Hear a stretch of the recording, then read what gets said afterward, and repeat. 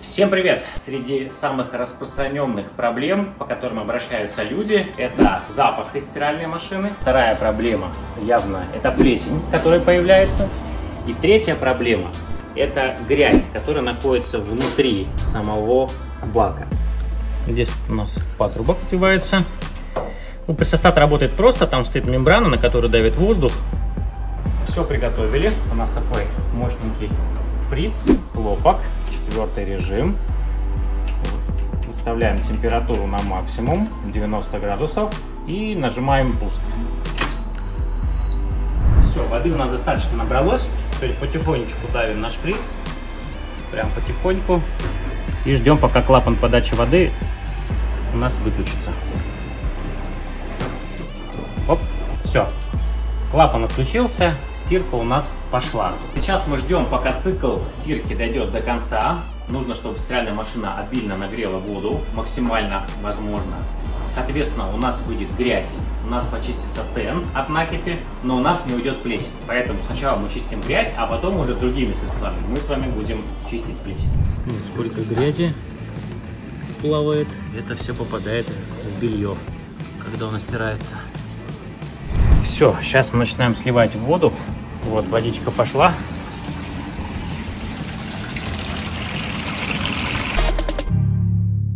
Стал промежуточный важный этап. Открываем.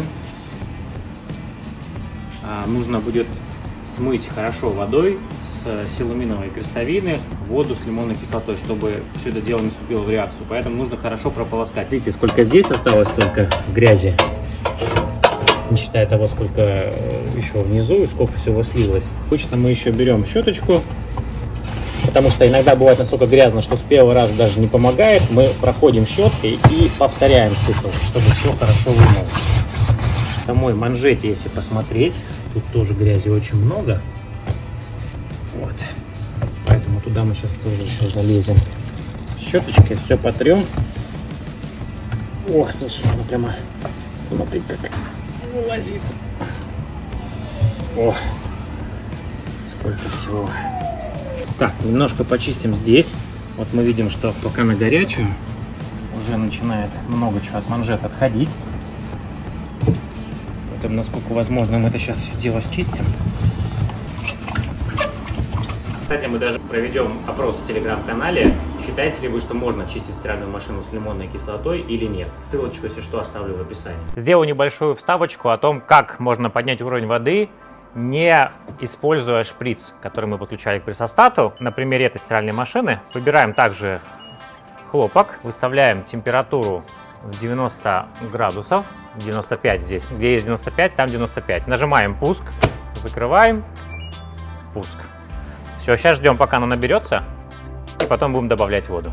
Машинка уже набрала воды в своем режиме. Теперь можно взять какую-то емкость и просто через лоток мы доливаем воды. Чтобы в нашем случае было побыстрее, мы просто сейчас прям со шланга нальем. У некоторых, кстати, есть душевые лейки, с них тоже можно наливать. Мы так у клиентов бывает делаем, когда в этом есть необходимость. Но имейте в виду, если мы нальем воды слишком много, может сработать система перелива, и машинка сольет воду. Сейчас вот мы будем наливать, чтобы вы посмотрели на, на LG во всяком случае, до какого уровня можно набрать воды и когда сработает ошибка. Еще важный момент, воды нужно набирать именно даже не до середины, а ниже, потому что в середине бака есть сальник, чтобы вода не поднялась на уровень этого сальника. Потому что если сальник старенький, может пропустить воду. Так, смотрите, LG набрала очень много воды, не выходит в ошибку. А вот все, вот этот уровень, сейчас на паузу поставил, это максимальный.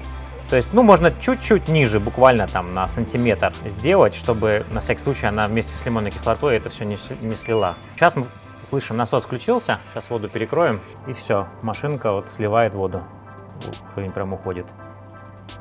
Но LG набрала воды много. Некоторые машинки могут начать сливать намного раньше, поэтому вы можете поэкспериментировать, просто посмотреть, наливать воды, пока она не сольет, ничего страшного в этом не будет, не бойтесь потом себе меточку поставить, как-нибудь аккуратно, может быть, маркером, который потом сотрется, докуда машинка набрала воды, и просто где-то на сантиметр ниже этого уровня уже набрать, развести лимонную кислоту и уже залить. Этап, который мы начинаем, это борьба с плесенью. Режим сейчас быстрой стирки. Температуру выбираем 40 градусов. Нажимаем пуск. Итак, вода у нас набирается. Теперь мы берем обычную белизну, вливаем вместе с водой. Мы набрали воды, у нас достаточно много, 2 литра у нас здесь белизны. Теперь мы немножечко ее нагреем и просто выключаем, чтобы до следующего дня она у нас постояла. Прошла у нас ночь, машинка постояла. Уже если приглядеться, еще пока машинка с водой стоит, уже если приглядеться, манжета стала намного чище. Даже видно вот границу, где стояла вода. И кто помнит, здесь очень все было грязное, черное, плесень. Ну и вот. И заглянем еще внутрь, чтобы посмотреть. Здесь тоже было у нас чернотище просто. Если чуть выше заглянуть, вот где воды не было, там еще у нас есть остатки плесени. Как мы с этим будем бороться? Теперь мы берем следующее средство. Берем вот такой вот гель, именно вот этот вот три в одном. Из-за того, что этот гель, он хорошо остается на стенках. И теперь кисточкой, гель наливаем и кисточкой внутри его обильно растираем, чтобы он у нас попал на стенки. Манжеты сверху, снизу, сбоку, везде. Все, смазали гелем. Эту процедуру порой нужно повторить а, два или три раза, иногда можно чуть больше, то есть через каждые пару часов можно еще раз проходить гелем, и тогда от плесени уже остается фактически ничего. Конечный результат еще вставлю в видео, вы сможете наглядно посмотреть, насколько все стало чисто. Ну и, как помните, в начале была просто ужасная картина.